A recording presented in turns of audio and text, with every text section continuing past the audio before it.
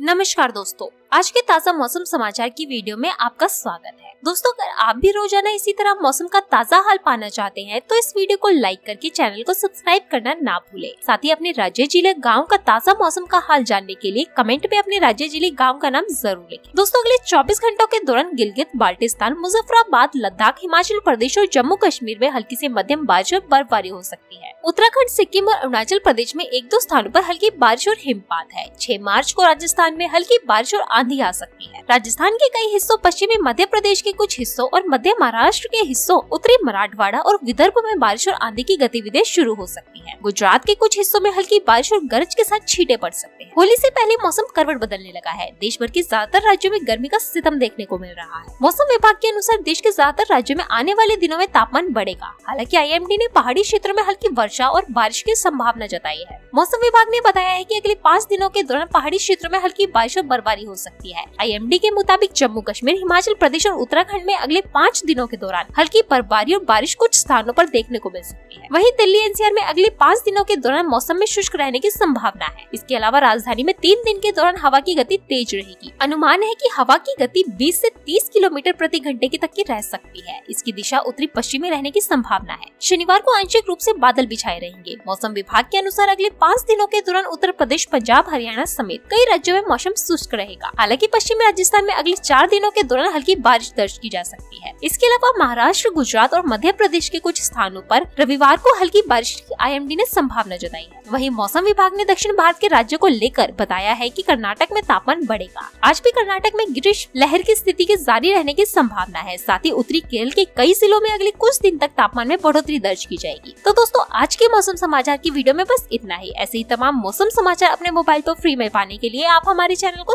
Subscribe कर साथ ही video को लाइक करना ना भूले धन्यवाद।